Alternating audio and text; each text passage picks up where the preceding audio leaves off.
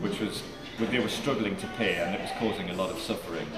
Um, Godiva pleaded with Leofric uh, to raise the tax, um, to, you know, to stop taxing the people. And he apparently said to her, if you ride naked through the streets of the town, then I will stop the tax. Obviously he didn't expect her to do it, um, but, but apparently she did. Um, the original version of the story says that she covered, her, uh, covered herself with her long hair and then rode naked through the streets and obviously nobody could see anything, she was covered by her hair.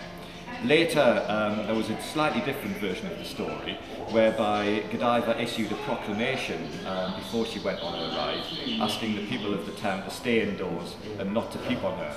Um, and this kind of sets the scene, really, for the introduction of the character of Peeping Tom, because, you know, there, there has to be one person who's going to peep uh, in a situation like that, and he is the one who apparently spied on Godiva and was actually struck blind or struck dead, apparently, according to which version.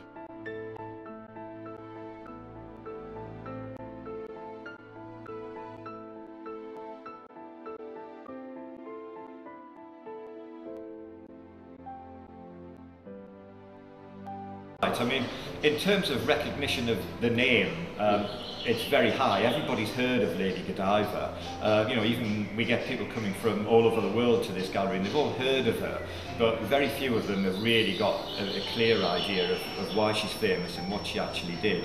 Some people have a vague idea that she rode naked through the streets, but they don't really know why. Um, so yes, I think it's right that there is a lot of misunderstandings about it. And the story um, does have a lot of, of depth to it, I think. It's, it, it's still quite an important story today. Certainly people who come from Coventry um, see Godiva as a very important figure in their history. I mean, the, the, the, the real historical Lady Godiva was an important figure. You know, she, she um, gave a lot of money to help found a priory in Coventry, for example, so she was a bit of a benefactor towards the city. But also the Godiva in the story um, I think also did something quite important really. She she kind of stood up for the rights of the ordinary people. You know, she made a protest for something that she believed in. And quite a lot of people think that was a really important and worthwhile thing to do. And quite a lot of people who are protesting about something even today invoke the name of Godiva as, as something uh, to support what they're doing. Culture. Yes.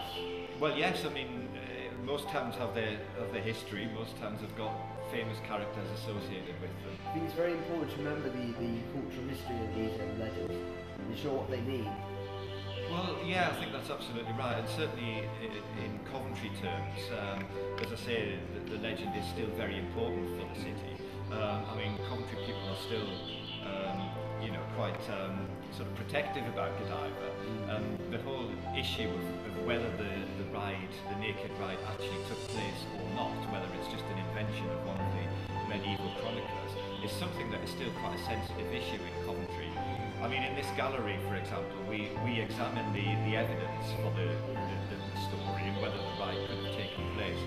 But we don't, um, we don't come down firmly on one side or the other as to whether the ride was, was feasible or not.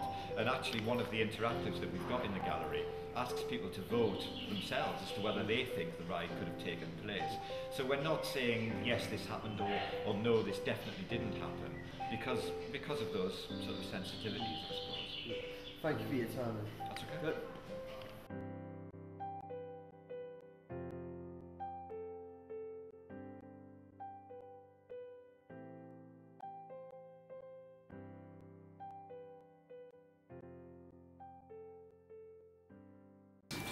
Well, she was very forthcoming in riding through Coventry with no clothes on, wasn't she?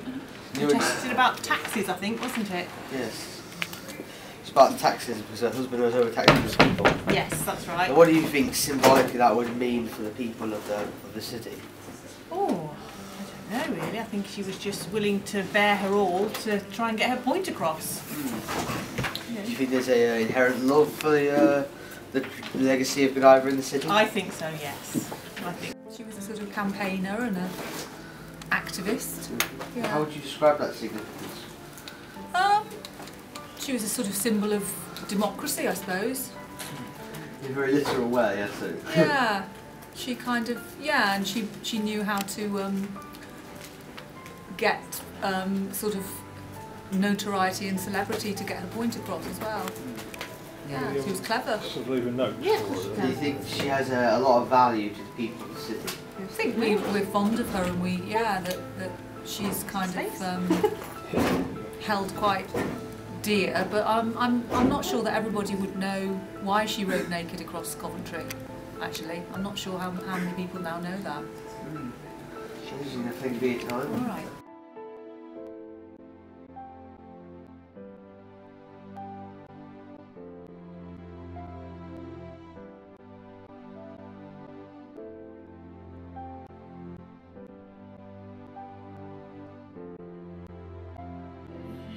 Yes, we believe that this, this painting uh, is the origin of the, the, character of Peeping Tom.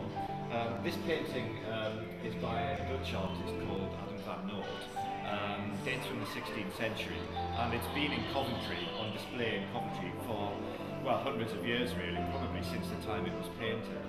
And the story goes that in the um, 1600s, a group of soldiers came to Coventry from Norwich, and they saw this painting and wrote made reference to a character um, peeping on Lady Godiva, or spying on Lady Godiva from a window in one of the buildings in the painting. And you can actually see uh, the character in this window here. Um, and that was the first time, really, that the whole notion of somebody spying on Godiva um, had, had been raised.